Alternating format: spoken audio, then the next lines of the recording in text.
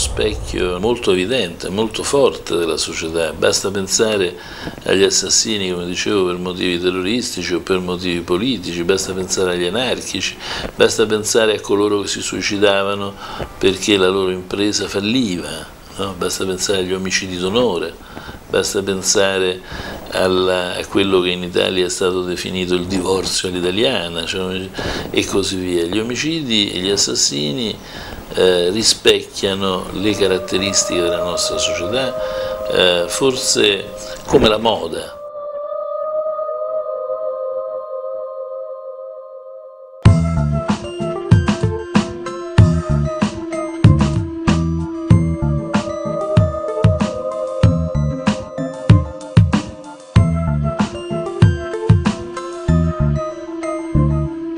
Pensate un bilancia o un assassino un serial killer che uccide eh, per caso. Eh, alcune scelte per esempio di bilancia sono state scelte fatte per caso. Lui dice eh, non avrei ucciso per esempio delle prostitute della stessa nazionalità.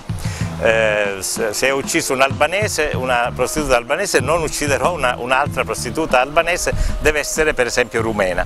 E tutto questo dà l'impressione di una mente che è disposta a tutto e quindi terrorizza comunque sono responsabile di tutto quello che mi viene accreditato. Quello di uccidere non è sicuramente un istinto, eh, non è sicuramente una pulsione così forte. Eh, diciamo che l'uomo eh, è un animale carnivoro, onnivoro, è un animale predatore, e come tale ha eh, concepito la sua esistenza anche attraverso l'uccisione degli altri animali e anche degli altri uomini, non solo per difesa ma anche per aggressione.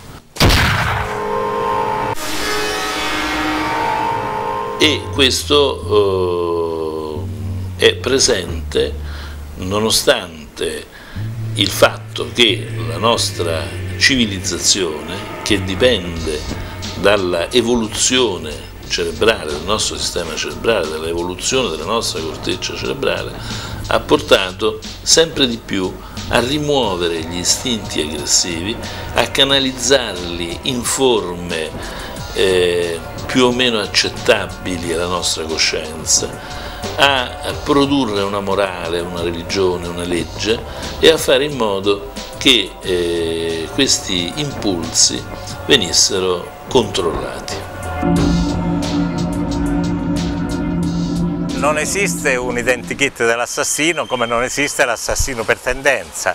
La, la biografia di ogni uomo che può portare un essere umano ad uccidere, a diventare un assassino. Eh, chiunque di noi ha una potenzialità mh, mm, che può farlo diventare un assassino. Pensate a chi non riesce a tollerare un sopruso, eh, una violenza. Pensate a un uomo che si trova in una situazione di una violenza all'interno della sua abitazione esercitata verso la propria moglie e la propria figlia. Naturalmente poi sono le biografie, come dicevo prima, di ogni persona, le situazioni in cui nasce, le situazioni in cui vive, le difficoltà che deve attraversare nella sua vita che possono portarlo a diventare un assassino. Ma ripeto, non esiste l'assassino per tendenza. Se dovevo raccontare una scena di una carneficina, magari 20 anni fa, 15 anni fa, anzi eh, diciamo è 12 anni che faccio questo lavoro, che faccio il regista, 12 anni fa l'avrei, come dicevamo prima, dipinta, coreografata, che diciamo è anche quello, mm, mi piace stilizzare la paura, visionarizzarla, ma siccome ormai gli stereotipi sono talmente tanti e abbiamo talmente tanti modelli e sono comunque tutti fantastici, come dire, sopravvalgono la realtà.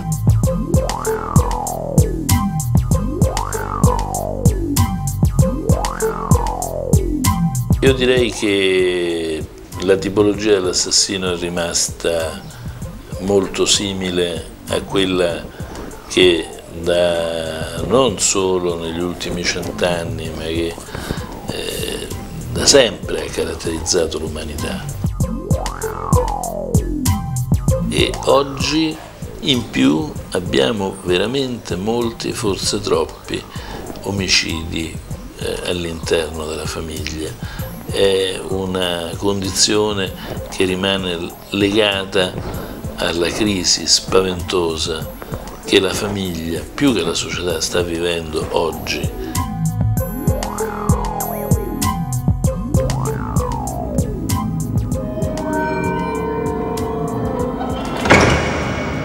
evidente che oggi eh, il mondo mediatico è molto più attento a questi crimini. Una volta si parlava di meno, anzi si, tenevano, eh, si teneva a nascondere, si cercava, si tentava di nascondere eh, queste cose terribili che accadevano all'interno delle famiglie.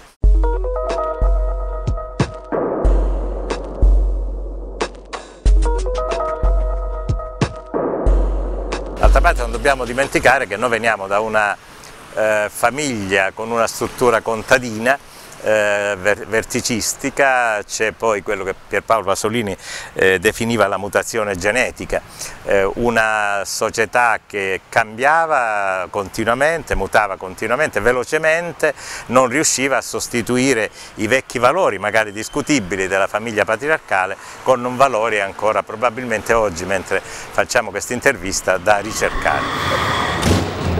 Personalmente eh, viviamo oggi allo stato delle cose e, siamo comunque testimoni impotenti di questi fatti. Sai, forse eh, vent'anni fa c'era appunto sia più pudore nel raccontare la realtà vista attraverso i mass media e quindi c'era più fantasia nel cinema.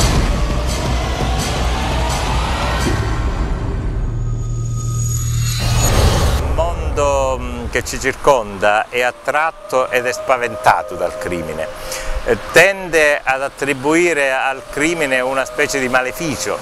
Il killer, dopo aver infranto il vetro anteriore sinistro dell'auto, spara diversi colpi di pistola.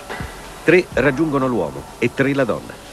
In realtà spesso ci sono delle malattie mentali che portano a delitti estremamente feroci. Spesso c'è desiderio di capire, desiderio di conoscenza perché c'è molta paura, eh, si resta annichiliti, ognuno di, di, di noi probabilmente in alcune situazioni si vede al posto della vittima.